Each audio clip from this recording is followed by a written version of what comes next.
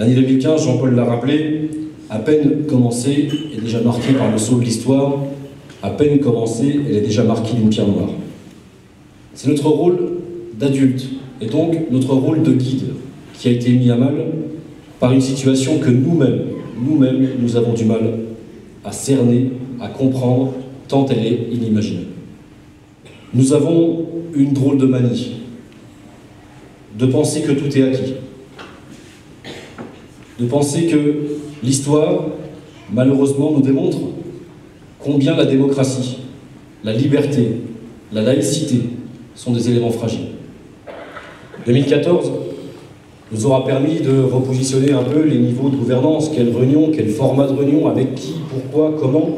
Tout ça prend du temps parce qu'il nous faut apprendre à nous connaître. De 2014, aller assez vite, tournons la page rapidement. Les chantiers ont continué, d'autres se sont ouverts, notamment la pose de la première pierre de l'usine de potabilisation située à Messin et qui va alimenter près de 3000 foyers. Nous avons fait le choix, et j'en faisais partie, de la régie.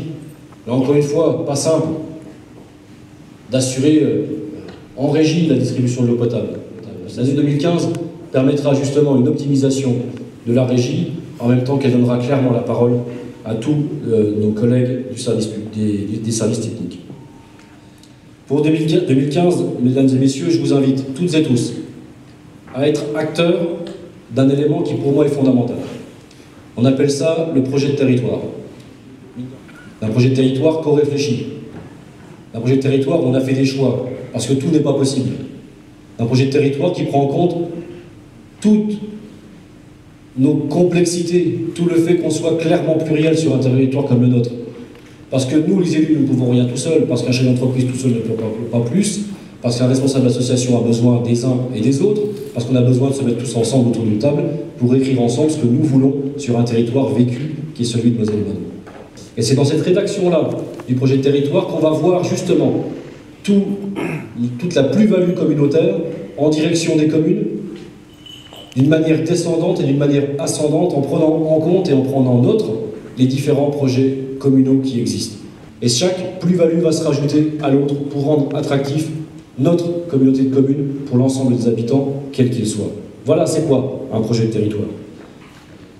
En ce qui concerne la piscine, c'est le sujet. Il est assez costaud comme dossier, et pour autant c'est un dossier comme un autre. On a aujourd'hui une piscine où des gamins viennent à pied ou en bus, et devant la porte on leur dit « Désolé, nous ne pouvons pas vous recevoir, les conditions de sécurité n'y sont pas, revenez demain peut-être, mais en tout cas pas aujourd'hui. Je veux tout simplement vous dire qu'on aurait encore plein de choses à se dire pour Moselle et Madon, la France, l'Europe, le monde, mais c'est surtout à chacun de vous que je veux, par-delà vos âges, par-delà vos métiers, vos sensibilités et vos difficultés, par-delà vos responsabilités, je souhaite vous adresser, vous adresser tout simplement, au nom du Conseil communautaire réuni, mes voeux les plus respectueux, les plus chaleureux et les plus sincères.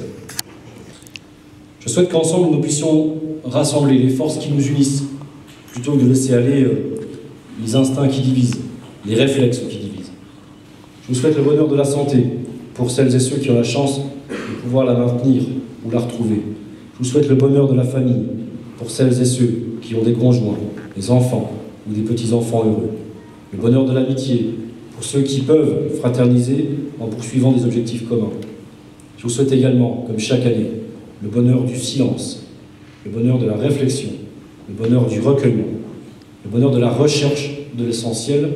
Je vous souhaite également le bonheur de l'espoir pour tous ceux qui sont trop abandonnés ou exclus.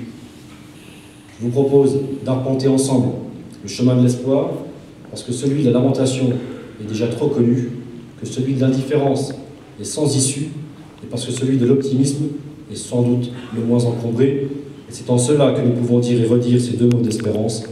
Mesdames et messieurs, bonne année.